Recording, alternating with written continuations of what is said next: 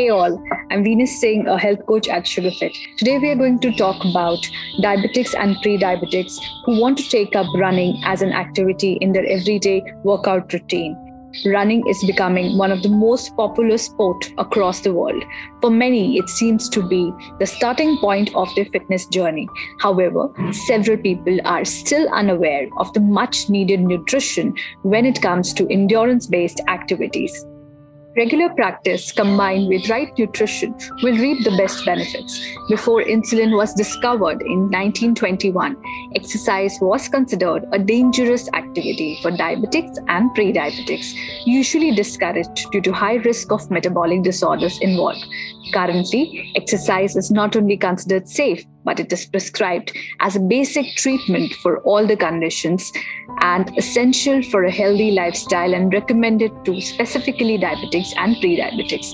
The beneficial effects of regular physical exercise associated with diabetes are numerous, offering improved physical capacity, decreased cardiovascular risk, and increased emotional and social well-being. So, what exactly does a diabetic and a pre diabetic needs to consider while planning a running event? Number one on my list is understanding the importance of right nutrition. Running helps your body break down fat and build muscles.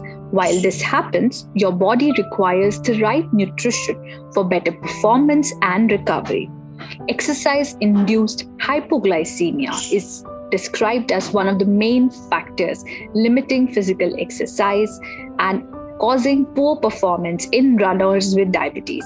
However, certain strategies, such as supplementing carbohydrate intake, can reduce the severity and duration of these episodes, thereby eliminating the fear of exercise induced hypoglycemia.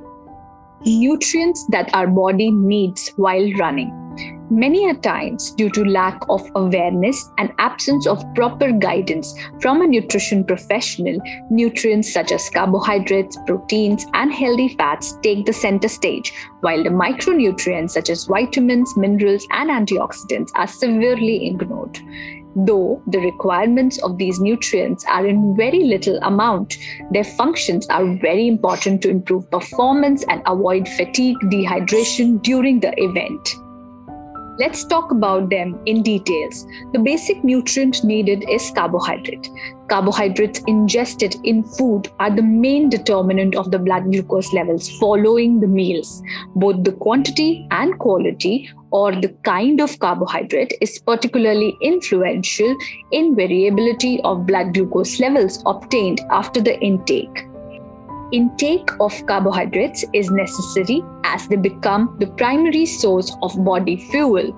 They provide your body energy for physical activities of all the intensities, securing glycogen stores, assuring muscle recovery, proper functioning of the central nervous system, maintaining the blood glucose between the meals. The quality or kind of carbohydrate ingested can cause significant variations in one's response to food, increasing or decreasing the rate at which the carbohydrates contained can be digested, as well as their ability to raise the blood sugar levels certain food specific factors that can increase the rate at which blood glucose levels rise, such as number one is thermal or mechanical processing.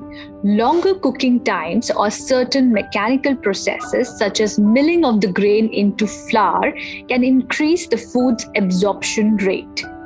Number two is degree of the starch gelatinization.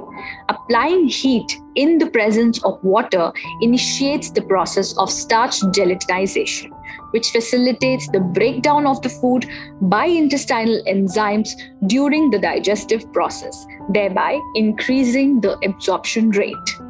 Amylose and amylopectin ratio of starches. Starches are mainly made up of amylose and amylopectin chains. Amylose forms the helical structures unbranched, which are less accessible to the digestive enzymes than the amylopectin chains. Kind of sugar. Fructose has a slower absorption rate than glucose or sucrose. Furthermore, once absorbed by the intestine, it must undergo a series of processes by the liver in order to become the glucose. Therefore, fructose rich foods cause blood sugar to increase more slowly than those containing other kinds of sugar, such as glucose or even starch in their composition. Other food components. The presence of high amounts of protein, fiber, or fat in the food can alter the rate of absorption by slowing down the digestive process. Certain condiments, such as vinegar, are capable of acidifying food, which slows down the digestive process and therefore the absorption of food. Let's talk about fats. Fats are a great source of energy for athletes who require more than normal calories per day, especially endurance athletes who have increased ability to utilize the fat. So, if you are a diabetic, exercising regularly, or having taken up a running activity at regular intervals, you must include sources of healthy fats in your diet. However, high fat and high carbohydrate diet or overindulgence in deep fried foods can lower your performance and can increase the chances of cardiovascular diseases. So remember, fats must not exceed 30% of the total energy consumption, even if you are a trained athlete. You can include food items that are healthier sources of fats containing omega 3 and omega 6 fatty acids coming from foods like walnuts, pumpkin seeds, freshwater fish, avocados, almonds, chia seeds, flax seeds, and many others. Proteins. We cannot stress this enough. Animal sources of proteins can be recommended since they have high biological value, a measure of the proportion of absorbed protein from a food to a body of a person is called as the biological value of the protein. Among all the animal sources, lean protein is better choice. Organ meats like liver, kidney, brain, and heart processed meats like sausages, salami, bacon, ham, and red meats like mutton, pork, beef, ready to eat, marinated meats tend to be very high on cholesterol levels and sodium, thus, should be consumed in restricted amounts. Micronutrients. Adequate intake of micronutrients is particularly essential to health and performance.